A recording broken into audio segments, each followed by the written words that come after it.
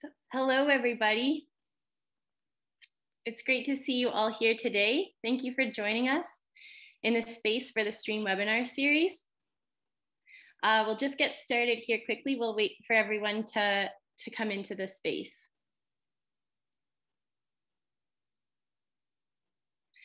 So my name is Reagan Mallinson, and I'm a biologist and program manager for Living Lakes Canada. And I'm joining you from Whistler, BC on the shared unceded territory of the Squamish Nation and the Lil'wat Nation. So please let us know where you're joining from today in the chat box. And we'll get started soon, so please take a minute to enter your comments and introduce yourself.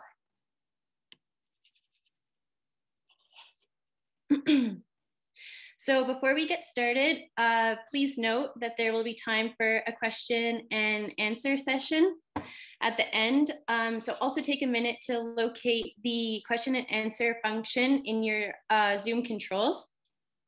As we move through the presentations, if you have any questions, please enter them in here um, and we'll, we'll get to them at the end for the Q&A session.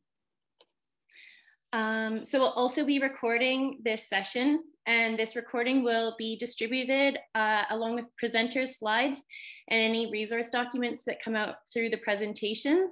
Um, that will be sent in a follow-up package early next week. Um, and the webinar recording can also be found on the Living Lakes Canada website and YouTube channel. So this is our third webinar in the Stream webinar series hosted by Living Lakes Canada. And so Living Lakes Canada is a national nonprofit net organization, and we are working towards the long-term protection of Canada's fresh water. So our mission is to normalize water stewardship through the protection of Canada's fresh water. And we believe that um, community-based water monitoring is a way to localize climate adaptation and provide support for decision-making to help fill important data gaps.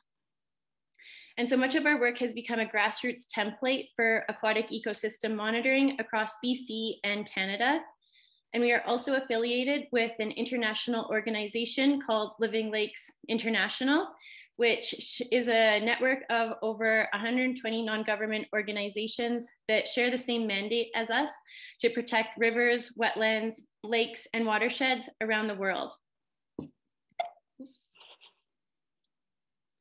Um, so you can see here that we have another, a number of other projects on the go. So if you're interested in our other projects, please check out our website here. So this is our third of four webinar series, and you can see the date and the time for our final webinar on May 27th on the screen here. Um, and we've had a great roster of speakers who have joined us over the last couple months to talk about the STREAM project, the cabin methods, benthic macroinvertebrates. And we have still a great number of speakers coming up to talk about how they've implemented the STREAM project in their own home watersheds um, and develop their own monitoring programs through the STREAM project.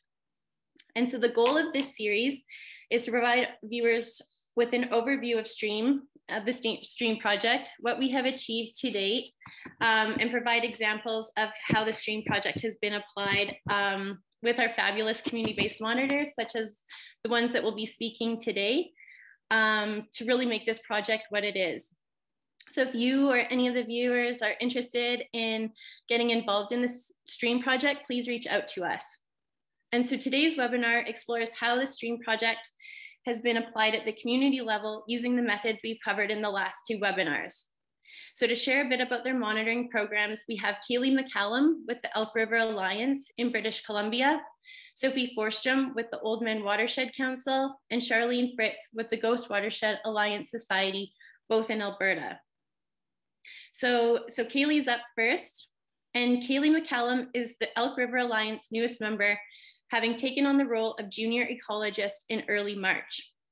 So although new to the Elk River Alliance, she has spent a number of years working on a variety of environmental and conservation programs across Canada um, before she settled into the Elk Valley. She is passionate about understanding local environmental issues and collaborating with communities and industry in order to encourage a more widespread knowledge of our natural river systems and preserve them for future generations. So I'll pass it off to you, Kaileigh.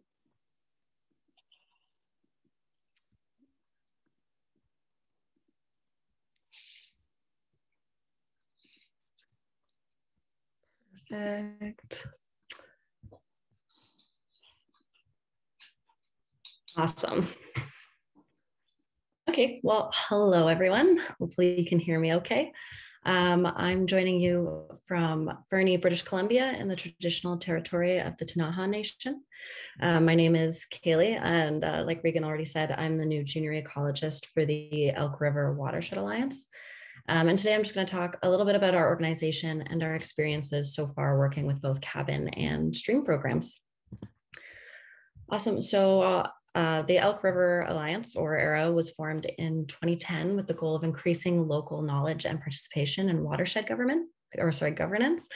Um, our mission is to use science, education, and community collaboration to ensure sustainable stewardship of our watershed.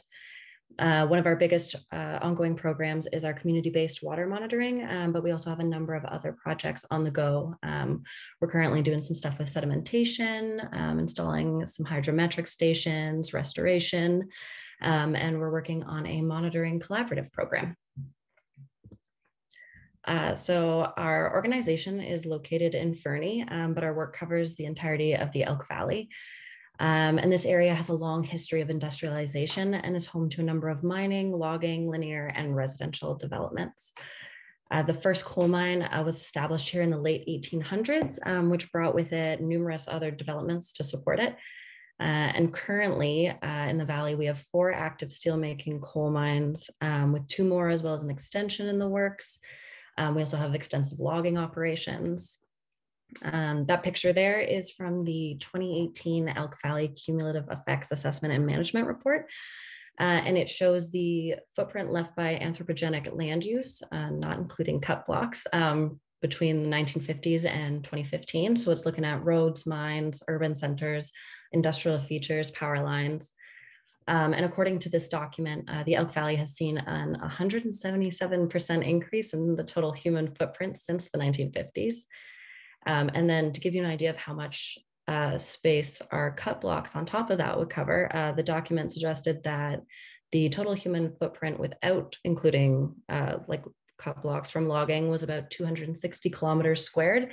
Um, but as soon as you include those uh, cut blocks, it's 530. Um, so in the Elk Valley, about 30% of the land is privately owned um, and one eighth of the land is privately owned by a single company, um, a single logging company. Uh, so there have been dramatic increases in private logging, um, which don't necessarily conform to the rules of Crown land. Awesome. So both industry and uh, government already conduct a lot of water monitoring throughout the valley. Uh, so we see it as our role to fill in gaps in the data collected by these entities. Uh, so our goal with community-based water monitoring is to look at areas of public concern and include the community in monitoring and decision making. Um, since the Elk Valley already has such a long-standing relationship with mining, uh, there's a lot being done already on mining affected areas of the watershed.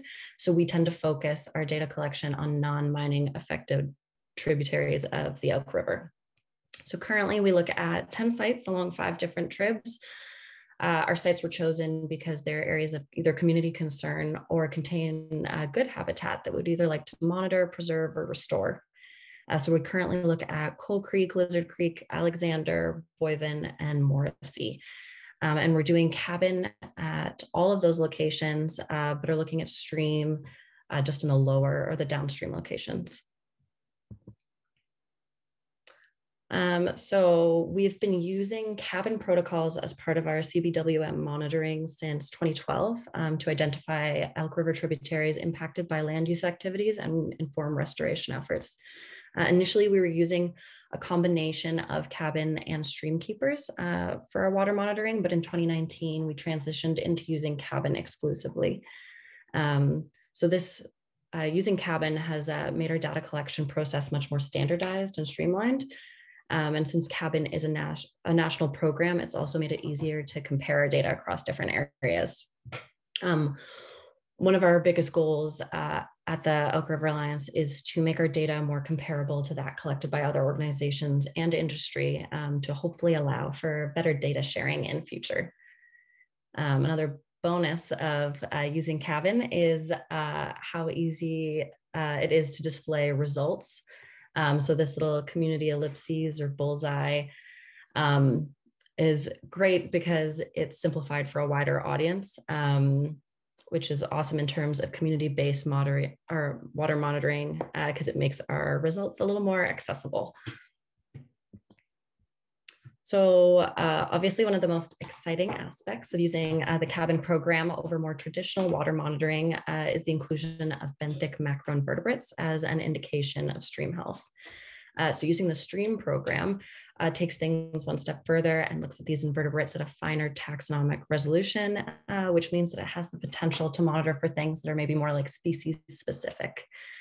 Um, our organizing or, or sorry, our organization uh, is particularly interested in the idea of using these methods to assess for potential whirling disease outbreaks. Um, although there are currently no documented cases of it in BC, it's been found at several locations in Alberta, um, particularly near the BC border. Um, and since the parasite that causes whirling disease relies on a specific sludge worm as a host, uh, testing for the presence of that sludge worm is a great first step for us to see if there's even the potential for spread here.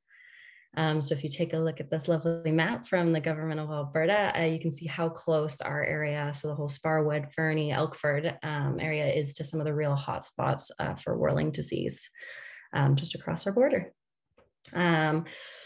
We were able to chat with uh, Chloe and Regan about this. Um, and Chloe was really amazing and personalized our stream results to include a small section on whirling disease host detection. Um, and according to our results, the host was only found at one of our locations, which may indicate uh, what sites to look at in terms of a potential outbreak, but also tells us that further investigation is probably needed to examine the full extent of this. And the fact that we found it at one site uh, means that it's probably uh, elsewhere as well and just wasn't captured during this round of sampling. Um, another one of the big benefits uh, for us of trialing the STREAM program is the extra support that our organization has received. Um, last year, our staff received in-field cabin and stream training through Living Lakes Canada. Um, and even after that, both Living Lakes and those involved in the STREAM program have made themselves available to us for extra assistance um, particularly for me being a new member of a community watershed group. I really appreciate uh, both Regan and Chloe specifically making time to chat with me about any questions I've had about either program. Awesome. Uh, so for us, uh, the major benefit of adopting programs like Cabin and Stream is bringing our data up to a level where it can be uh, compared to what's being collected by industry and other sources. Uh, so obviously in a valley like this, uh, keeping things pristine uh, isn't an option because industry is so much a part of the communities in the area. Um, so we recognize the need to work with community groups and industry to collaborate and find ways to work towards creating healthy, sustainable ecosystems and communities. Um, so this is why we've begun to explore the idea of working with industry um, to create a monitoring collaborative. Uh, we're hoping to launch this program later this year, um, and we're currently just talking to potential partners uh, about creating data sharing agreements, uh, which would unlock a lot of data that would be otherwise unavailable to us. Um, and the idea for us is to create or to build good relationships with industry and allow the community to have a better understanding of watershed issues and weigh in on local water, water decision making. Um, cabin protocols are really great in terms of getting our data to a place where it can be compared and used by, um, by others. Uh, and as an extension of this uh, program, we're also currently in the process of adding our data to the Columbia Basin Water Hub. Um, and Santiago and Paige have been really great with helping us get started and find the best ways to upload and display our data on the Water Hub. Um, and we're just uh, really excited about the opportunity to share our data on a wider scale across the basin. Um, yeah, and I just want to send a thank you to all our partners and funders for the CBWM program uh, and specifically mention that this program was uh, supported through the BC Gaming Grant as well as the Healthy Watersheds Initiative, uh, which is delivered by the Real Estate Foundation of BC and Watersheds BC uh, with financial support from the province of British Columbia. Awesome, thanks.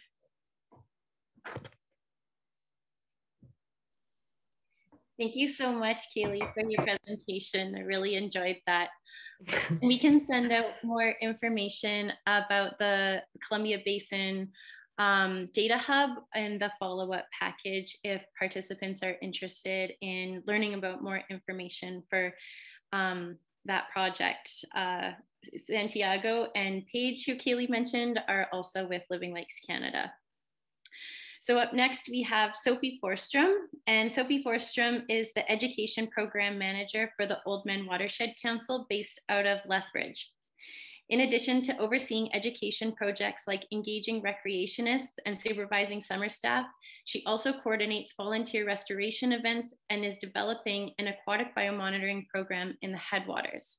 Sofie has a master's degree in applied ecology, and before joining the Oldman Watershed Council, she worked as a science educator at the Royal Tyrrell Museum in Drumheller, Alberta.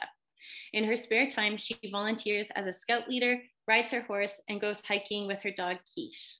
So take it away, Sofie. Thanks, Reagan. Can everybody see and hear okay? I'm going to take that as a yes. Well, good morning, everyone. I guess after good afternoon for those who may be in the eastern side of the country. Um, yeah, my presentation today is just going to cover a little bit about how the Oldman Watershed Council is using the cabin protocols and the stream program to monitor some of our stewardship activities. And then I'll also mention and discuss a little bit about a broader collaborative of watershed stewardship groups, First Nations and other agencies that are all working together to support each other and develop local aquatic monitoring programs. So to get started, just a little bit about us. The Oldman Watershed Council is a stakeholder-led nonprofit, and we are based in Lethbridge, Alberta. We are one of 11 watershed planning and advisory councils that were formed under Alberta's Water for Life strategy. The Oldman Watershed Council works on Treaty 7 land, this is the ancestral and traditional territory of the original watershed stewards, the Blackfoot Confederacy. That includes the Kainai, Piikani, and Siksika, as well as the Tsuut'ina and Stoney Nakoda First Nations. And we are so honored to partner with and learn from them. Now, you may or may not know, but everybody lives in a watershed. And I invite you all to type the name of your own local watershed into the chat and uh, if you aren't sure, I'm going to share a link right now to um, a website where you can find out the name of your local watershed. And if you're in Alberta, bonus points if you also know the name of your watershed planning and advisory council. So go ahead and type that into the chat. Uh, here in the Oldman Watershed Council, we're working in the Oldman watershed, which stretches from High River along the eastern slopes of the Rockies to just east of Taber, uh, where the Oldman and the Bow River uh, combine to form the South Saskatchewan River. And then eventually the water makes its way through Saskatchewan and Manitoba to the Hudson Bay. It all begins though here in the headwaters and we've been doing a lot of work in our headwaters with volunteers and partners like Cows and Fish and Trout Unlimited, as well as the Blackfoot Confederacy and local recreation groups to restore stream banks by planting willow stakes. So this is a process known as bioengineering because you're using living things to engineer the stream banks. And these willow planting events are grant funded and they rely on partnerships and volunteers these volunteers include college students, recreationists, scout groups, families, government, different agencies. And the grants that we receive to do this work are usually kind of earmarked for improving habitat for aquatic species at risk, like native trout, west slope cutthroat trout, bull trout, etc. And for these events, we partner with groups like Cows and Fish, and Cows and Fish do riparian assessments we're restoring riparian areas, it makes sense. But we were missing the aquatic component of doing some monitoring and seeing, you know, what kind of impact we were having. And so we thought we should maybe start doing that. Now, I do not have any kind of background in aquatic ecology. Uh, my own master's research was on a semi-arid rangeland, so far from water, but I did hear about this cabin protocol and stream program from other WPAC educators. And last summer, uh, as everyone was probably affected, we were also affected by the COVID-19 pandemic uh, changed our work plans a little bit, but it did give me time to organize and start this aquatic monitoring program. And so we were able to collect baseline data at seven, or seven sites last fall in 2020, and six of those were sent to the University of Guelph for DNA metabarcoding. And our hope is that these aquatic um, samples will complement the riparian data that we have collected. And then our plan is to then assess the change in time and hopefully that change is an improvement in the aquatic ecosystem. So here are some photos from last field season and training session uh, across our headwaters. And the photo in the bottom in the middle, that is our very first ever stream sample that we collected. We were very proud and very pleased with ourselves.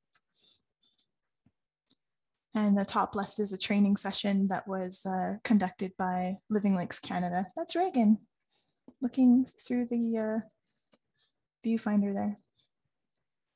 All right, so when we're collecting this data, we're getting um, habitat data. We're trying to characterize the habitat that these benthic macroinvertebrates are living in.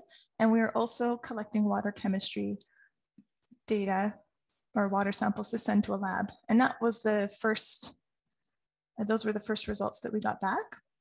And so we are able to characterize the water chemistry of these streams and compare it to Alberta's surface water quality guidelines for the protection of freshwater aquatic life. And so we can see our, our six sites from last fall, you know, our pH fall within the guideline, our dissolved oxygen levels, um, for the most part, are above the minimum levels for aquatic life. There were a couple of parameters that were near or above their guidelines. So those might indicate that we might want to take another look or just keep an eye on those sites in particular. And uh, we just received our stream and our cabin taxonomist reports, and I'm still reading through them, but based on just a very preliminary read through, I uh, made some colorful figures to share with you today, because who doesn't like colorful figures? Uh, so this first one is looking at the species richness of our six sites, and the large orange dot is the average for each stream site. Um, the smaller orange dots are the replicates collected at each site. And then the blue horizontal line is the cabin taxonomist species richness that was calculated. So they were, you know, fairly similar, a couple of differences. And then um, looking at what different groups of organisms make up these different, all the species richness, we can see that here, each column represents the number of genera present at each site. And in gray, it's just various genera present in each order, but the colored ones are organized a little bit differently. Those are the bioindicators, the caddisflies, mayflies, and stoneflies, and they are not grouped by, um, by genus, they are grouped by tolerance level. So their tolerance to pollution with a least tolerant at the bottom in bright green going up to less tolerant. And the tolerance level is out of 10 in total. Uh, so those are our bioindicators. They're indicating that the water quality is pretty good. And then in red, I just pulled out that tubifex worm that uh, Kaileigh was mentioning. That's the host for the whirling disease and it infects the salmonid fish. And following the example actually from the Ghost Watershed Alliance Society, we had asked them to be highlighted in our report. so Beaver Creek, our first column there, is already in the red zone for whirling disease, meaning that it's already tested positive. We know whirling disease is there. Uh, but the other site on Dutch Creek is in the yellow zone for whirling disease. And that means it's at high risk for the introduction or spread of whirling disease due to the presence of susceptible species, so our, our fish species, as well as the high use of the area and access to water. So that's definitely a site for us to keep an eye on.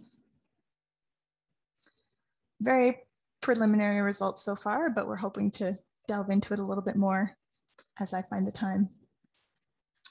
All right, next, I just wanted to talk to you briefly about this collaborative that we are working with across the Eastern Slopes.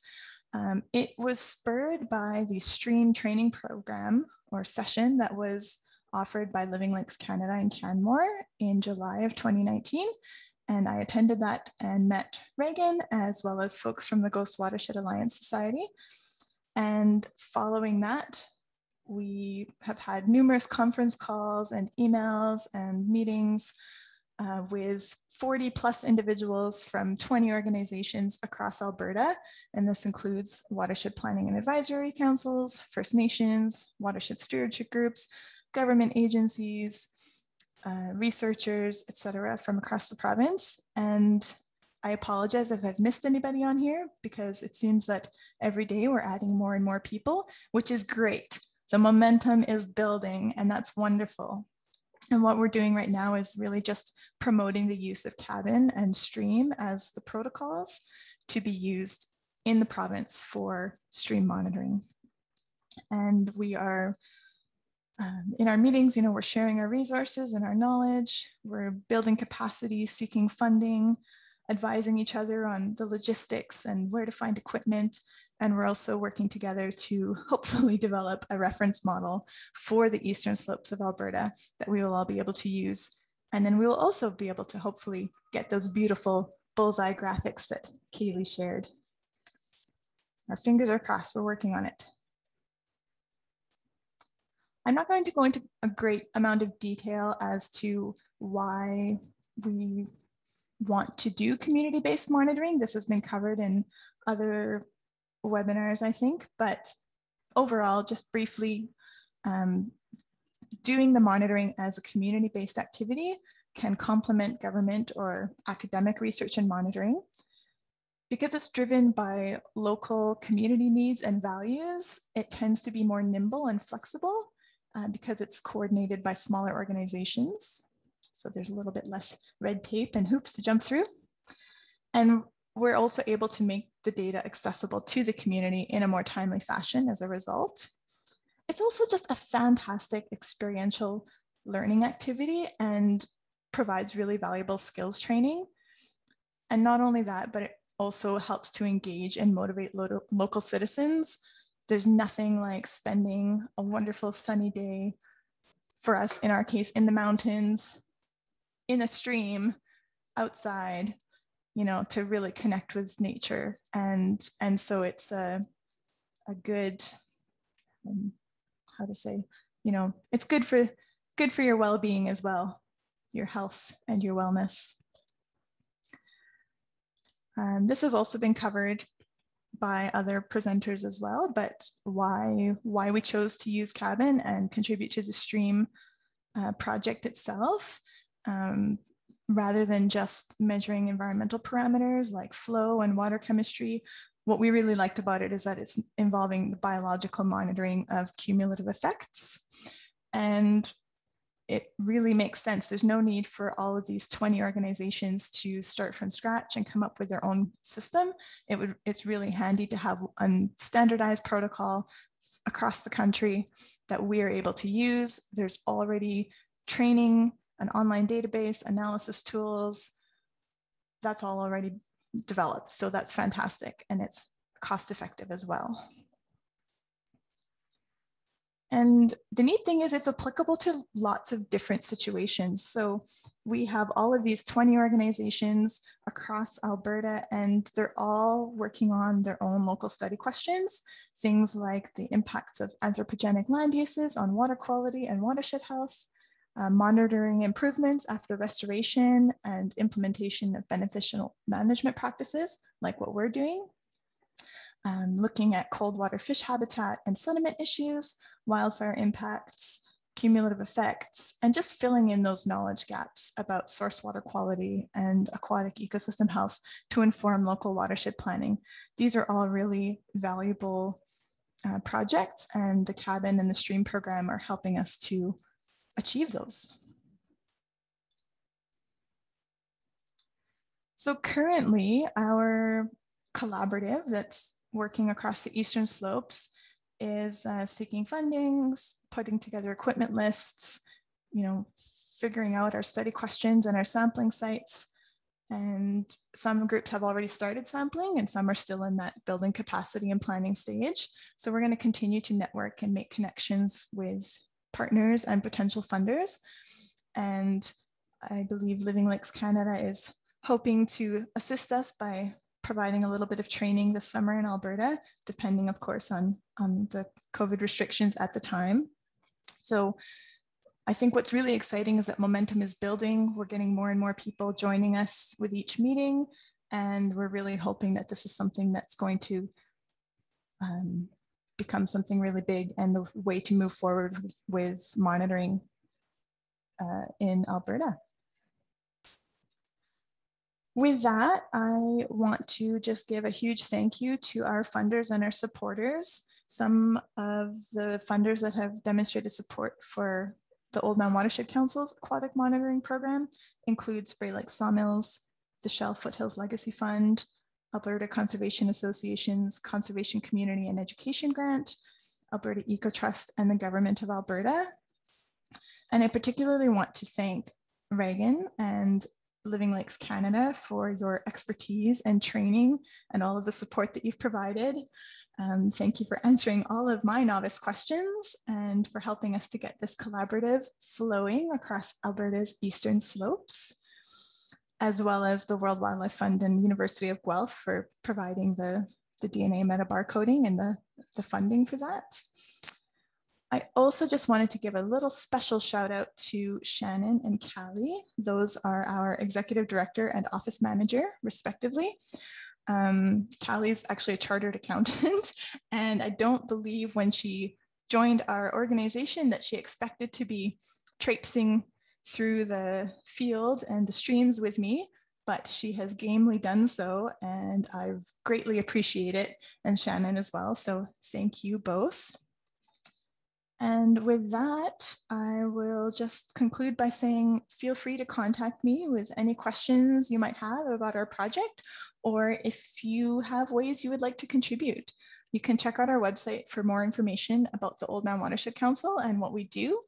I will just note that the our cabin and stream monitoring are not on our website yet, um, but watch that space. We're hoping to get it up there soon.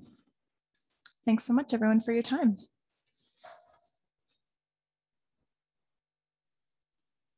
Thank you so much, Sofie. That was an excellent presentation.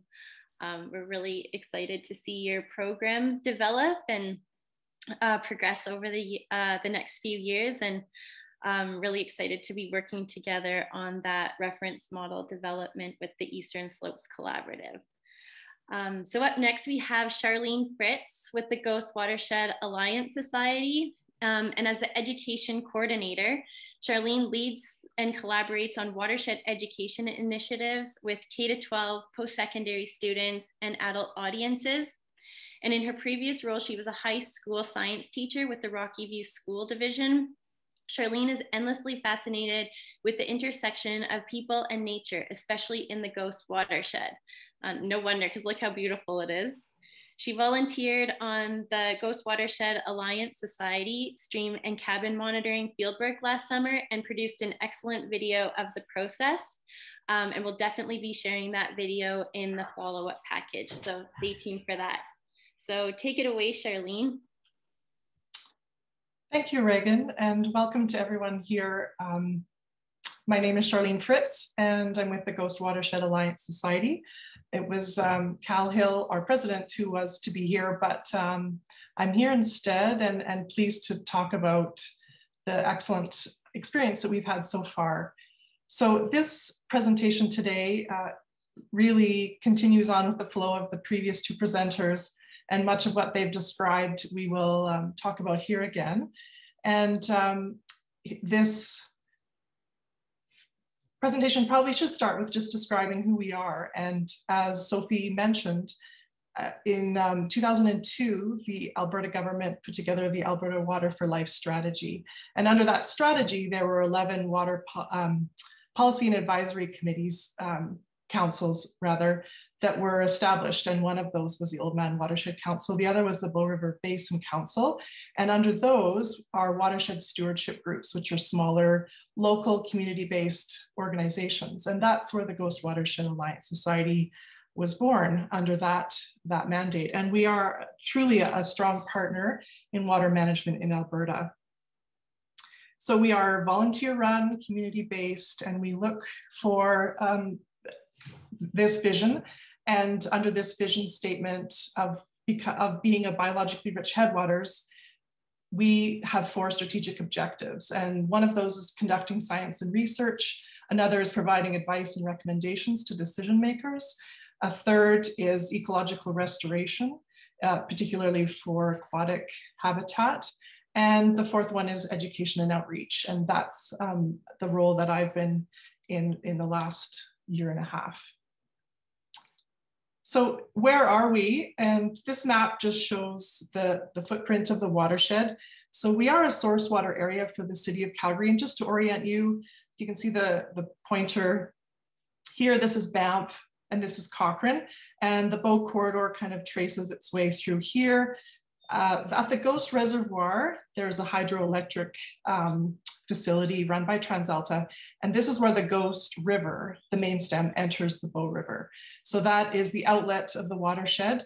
And you can see that the beginnings and the headwaters of the watershed are really the front ranges of the Rocky Mountains.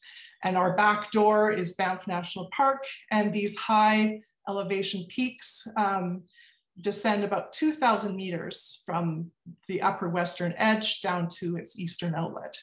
And through the course of, of the drainage, it goes through alpine, subalpine, montane, and foothills landscapes. So the Highway 40 is the main um, artery, transportation artery through the watershed. A lot of it is hard to access. Some of these uh, tributaries have been difficult, especially when I start talking about where we were sampling. Some, sometimes it's a challenge to actually get to these sites. But this just gives you a sense. And also just to point out from this slide that about 78% of the land in the Ghost Watershed is Crown land. So that means that it falls under the jurisdiction of the government of Alberta, and there are multiple land uses with throughout the watershed. Um, before I leave this, just to give you a sense of the size, it's about 950 square kilometers in area, and it provides about 7% of the flow upstream of Calgary into the Bow River. And because it is so close to Calgary, we are noticing and have noticed for quite some time that the smaller surrounding communities and the multi-use nature of the area, it creates more pressure uh, which has the potential to negatively impact the health of the watershed. And before I leave this, I also wanted to take the opportunity to acknowledge our, the First Nations and Indigenous people of this, of this area, of Southern Alberta. So we have, um, in Southern Alberta, the Indigenous people we'd like to acknowledge are the Treaty 7 region, which includes the Blackfoot Confederacy, comprised of the Siksika, Piikani, and Kainai First Nations, the Tsuut'ina First Nation, and the Stoney Nakoda, which include the Chiniki, Bearspaw, and the Wesley First Nations, as well as the Métis Nation number of Alberta, sorry, Region 3. And um, we are just, as, as Reagan mentioned at the beginning, some of the photos that you're about to see of where we have been able to operate um, in our water monitoring are just sort of, they're stunning landscapes. And, and as Sofie described, just being in these landscapes uh, contributes to your own personal wellness. But just to come back to why we started to be part of the cabin and stream protocols. In 2018, following the guidelines developed by the province of Alberta, we produced a state of the watershed report. And that was a culmination of years of work, um, some from ourselves, some from a consultant. And it resulted in 32 recommendations. And so the recommendations ranged a variety of topics, including riparian health, biodiversity, but one of the main recommendations regarding surface water quality was to perform aquatic invertebrate sampling using the CABIN protocol. So overall, the conclusion from the State of the Watershed report was that the water quality is actually quite good. The primary area for concern was high sediment influx into the Waiparous Creek, which is a major tributary to the Ghost River, during and immediately after rainfall events. And decades ago, turbid waters typically occurred only in the late spring during the spring runoff, but increasing anthropogenic activity in the area and the extensive network of linear features such as logging roads, old seismic lines, and OHV trails appear to be contributing to the problem. And we're now seeing these the turbidity throughout, uh, throughout the year, not just in the spring runoff. So this is an example you can see once the soil has been decompacted and the vegetation is stripped. Uh, this is an old seismic line. You can see the, the contribution of the sediment into Waiparous Creek. Other, other examples you can see in these photos, uh, same thing, a seismic line turned into an OHV trail. And this image on the right hand is from a, a logging cut block. These are a series of photos that, that Cal took. And he was hiking along this small stream, which is a Westslope cutthroat trout bearing stream. And he noticed as uh, he was walk, walking through here, a couple of ATVs were riding adjacent to this stream and did not cross the stream, but simply uh, splashed through a puddle and that water came into the stream. And you can see over the five minute interval, how the water quickly changes from relatively clean. You can see the, the tannins and the, the, um, the stones below and all of a sudden in five minutes, you've got this cloudy turbid water. And so it just, it illustrates just how quickly and sensitive these, these streams are. And we know, of course, that the sediment is a problem for native trout in two ways. One, that it affects the aquatic invertebrates, as well as it makes it more difficult for spawning and for the uh, female to create her redd, her spawning nest. So what did we do? Um, we created a water monitoring program. And in this program, it went through many draft versions. It was basically a multi-year strategy for sampling our watershed. And uh, it was to test sites to obtain a picture use benthic invertebrates as uh, key species of uh, indicators of water quality. And we're to test over multiple years to detect the trajectory and the dynamics of these key indicator species. To identify possible sources of watershed impacts, to identify key sediment sources that could negatively impact the health of these benthic uh, macroinvertebrates, and to monitor the effectiveness of restoration work on stream health. Now, just as Sofie mentioned, uh, the Ghost Watershed also does bioengineering. And, and in our programming, we typically do one bioengineering event per year. So we have a workshop uh, in a full day presentation, usually by Dave Polster, who is um, a bioengineering specialist. And he teaches uh, for a full day. It's, it's a fantastic workshop. And then the, the following day is a field day where we go out and, and just as Sofie had described, uh, use native plant materials, willow staking, for example, to engineer the banks, to stabilize them, to prevent um, that sediment from flowing down into the water. So the stream cabin really will help us to pinpoint where this restoration work uh, will be most uh, successful.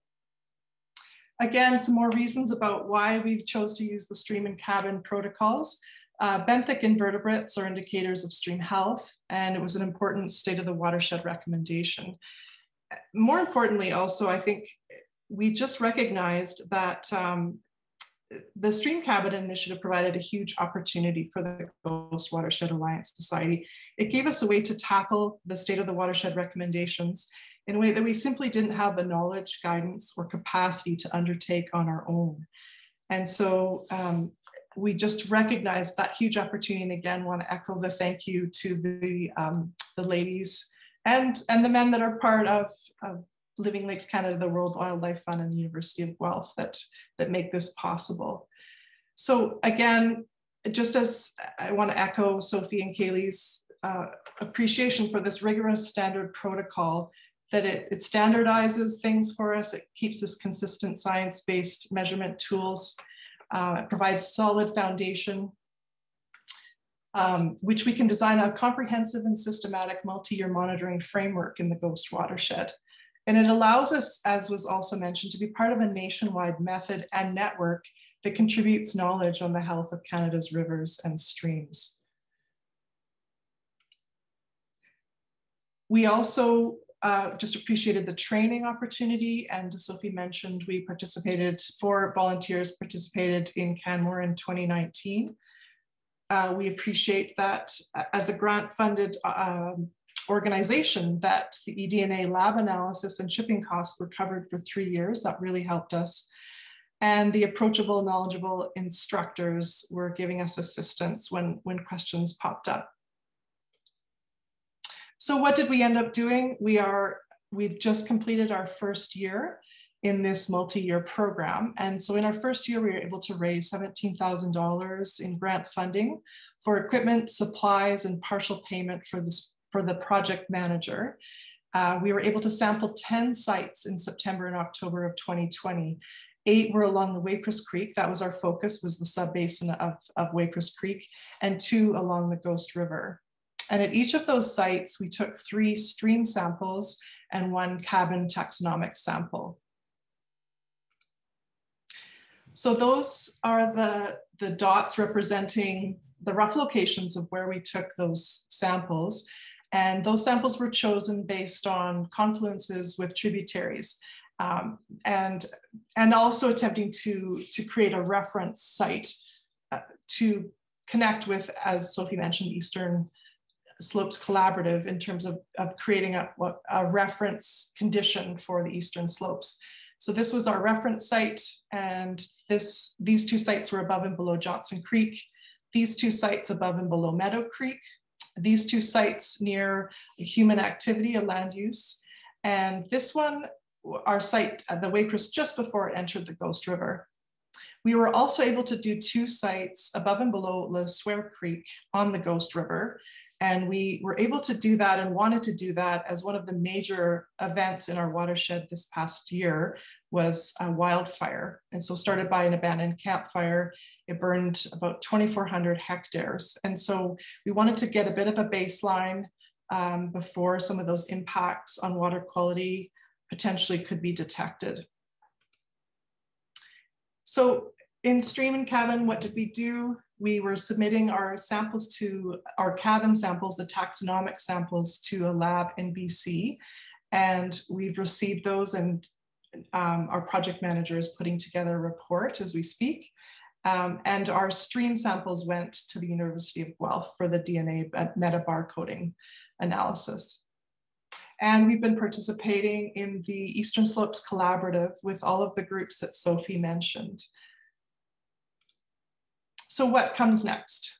So we are already in the planning stages for our monitoring this coming fall, late August, early September, and the sites have been chosen. Uh, our objective this year is to focus more on the Ghost River, but we will return to three sites on the Waiparous Creek in light of the fire. The headwaters of Johnson Creek were burned, and so we want, because we had sampled that yet last year ahead of the fire, we want to sample again uh, and see if there's any any change and if we can detect that change in the aquatic invertebrate communities.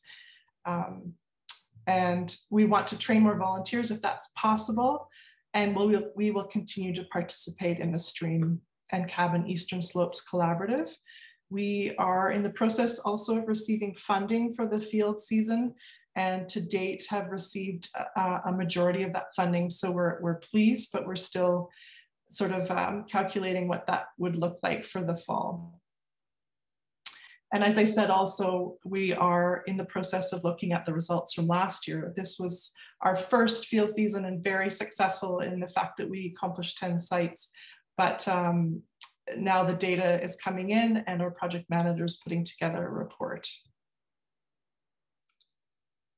So for more information, we, our website uh, contains our State of the Watershed report, which is a compilation of all known data in the watershed on a variety of topics. So if you're interested in the watershed itself, that's a great place to go.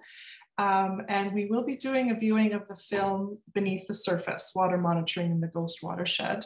You could also view it on, on YouTube at your own, um, at, your, at your leisure. The video itself, if you wanted to come on May 6th, I can send you an Eventbrite link for registration and um, we'll have a panel discussion with the cabin team. And you can also contact me at that, at that um, email address. We, of course, also want to acknowledge the, the organizations that have supported our work, without which this would not be possible. And um, the Cabin Aquatic Monitoring Network, of course, through Environment and Climate Change Canada, the Centre for Biodiversity Genomics at University of Guelph Living Lakes Canada, World Wildlife Fund, and a, variety of supportive suppliers as well in, in both Calgary and in uh, BC as well they've also they've recognized that we are an organization that relies on grants and have really helped us financially to cut our costs. So we wanted to acknowledge that as well. We want to thank the volunteers, the cabin core team as it, as it became known. And uh, these people are mainly retired professionals who really just see that their time is really valuable when it's put towards these water monitoring program initiatives. And um, who can blame them? It's, it's a beautiful place to be. And with that, I will stop sharing my screen and pass it over to Reagan. Thank you for your attention.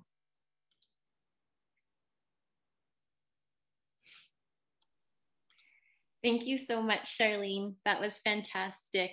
Um, I'm always impressed by the Ghost Watershed Alliance Society and how motivated and ambitious they are. It's a huge undertaking um, for that many sites, and doing DNA and morphological samples um, is quite time extensive. So I just want to highlight that. But I'll invite all of the presenters to turn on their cameras and their um, microphones, and we'll launch into the question and answer period. So um, yeah, please enter your questions in the Q&A function um, and we can start. So we have one question for Sharlene. Uh, why did you choose to sample in the Waipa sub-basin basin in the first year?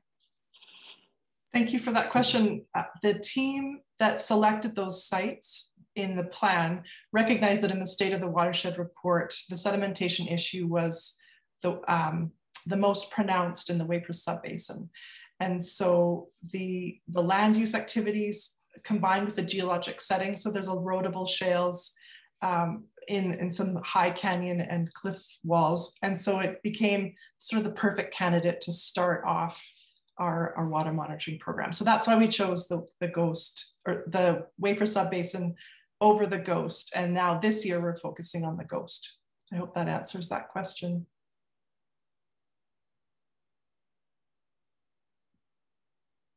Unmuted. Uh, so could you tell us a little bit more about the volunteers who help with the Ghost Watershed project? I think that one's for Sharlene again. Oh, sure. Um, so there was four members that were originally trained in Canmore, and one of them went on to become the project manager, which was fantastic. Uh, I think I actually believe he is on the webinar today. Um, and he is a biologist by profession and ran the whole program along with his wife and did a fantastic job. But the volunteers that came, and two of them were trained as well, uh, Cal and Bob, and were fantastic kick netters. They were they were the staple crew to, to go through in the water with their with their waders, and then on the shore we often had um, re retired professionals who were on the board of directors. Uh, we recognize that there was a fair bit of training that actually needs to take place for that data to be collected properly, but we would like to include others in the community. And I, I watched Sofie and see the, the images of, of the community-based participation she had, and I think it's fantastic. And we, we would really like to do that as well with a little bit of training um, we talked about doing a mentoring, like a one-on-one, here's how you do embeddedness, here's how you do slope, um, things like that. So I hope that helps. Yeah, that's great. I want to show this video to my dad so that he can be inspired to start his own biomonitoring program. Um, yeah, and big shout out to Brian and Marina. They've been so instrumental in getting the program started and yeah, they're great. Um, so during the field season, what are some of the challenges the Ghost watershed faced? And um, it looks like we might have time for a minute, so maybe we could do like a quick roundtable for the, the, monitoring challenges that um, each of you faced. So just quickly, and then I hope other people just jump in. The, the monitoring challenges we had was one, access to the reference site. It's difficult to get to and you need specialized transportation. Um, the second was whirling disease. So the decontamination process was essentially doubled. Um, and, and Brian could speak more to that, but it was extremely time intensive for him and Anne. And, um, and COVID, you know, we had to make sure we were masking and making sure we had enough distance between us. And that was a challenge too. Others? I can jump in. I mean, I think our challenges were pretty much the same because we're also dealing with whirling disease and COVID, who isn't?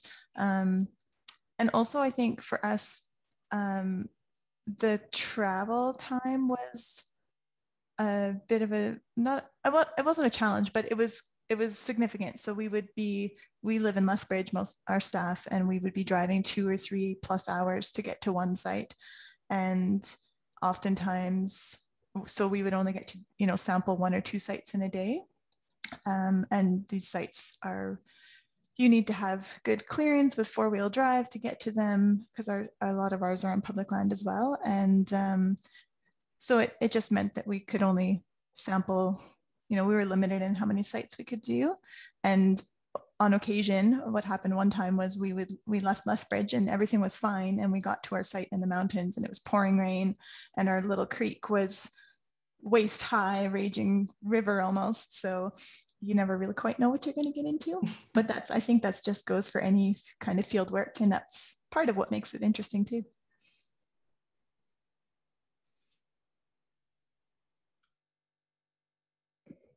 Uh, unfortunately, um, because I've only been with the Elk River Alliance two months, uh, I don't have any great answers to this question, but I'm assuming similar similar things to what everybody else is experiencing.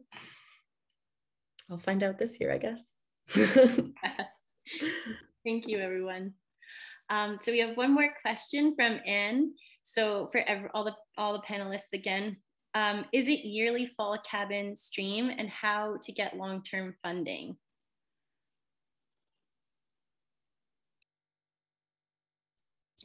Yes, it's yearly in the fall. I'm, I'm not sure if the question is about the funding or the sampling. So our field season is in the fall, like uh, I think Sharlene mentioned in kind of late August. We were able to sample last year until the beginning of November, just because of with a, a brief break for a snowstorm.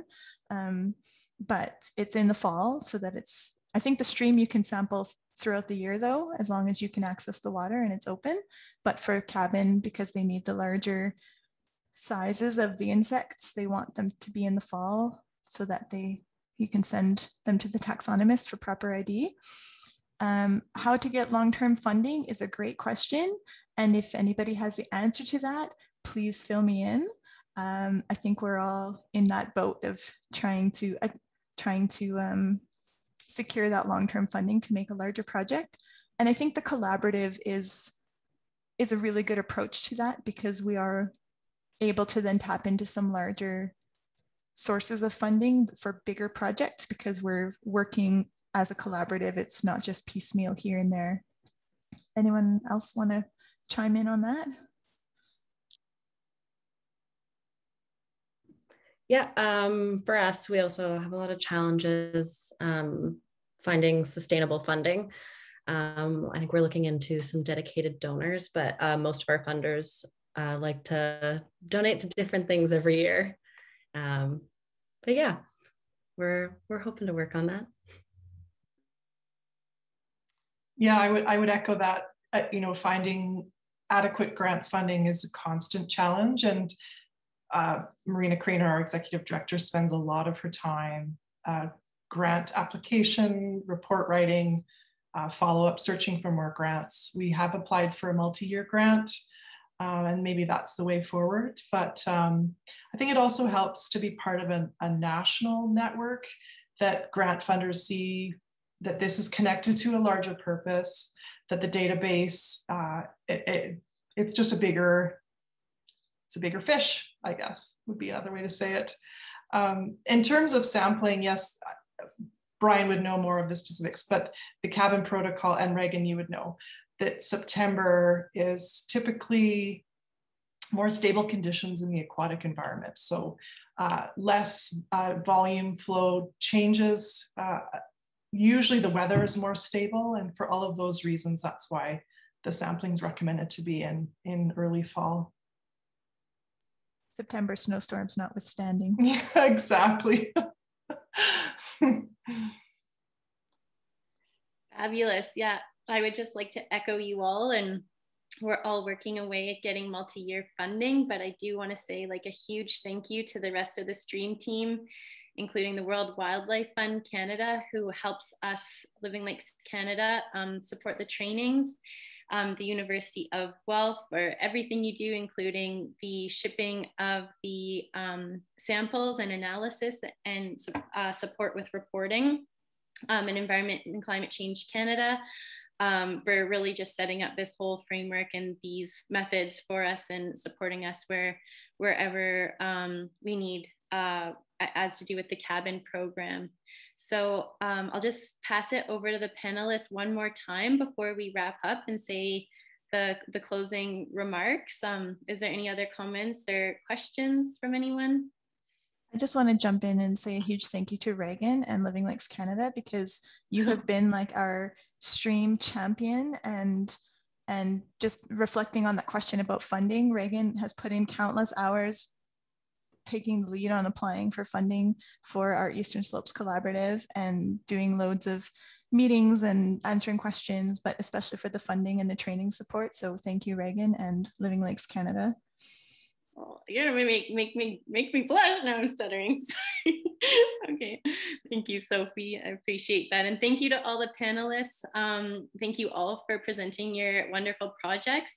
Um, and hopefully we can feature you again um, next year. So thank you all the participants for your time and attention and tuning in to learn about the STREAM project and how it's been applied to in different water monitoring contexts.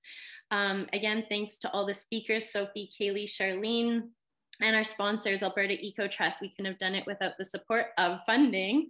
Um, so we really, really appreciate that, that support for all of our projects.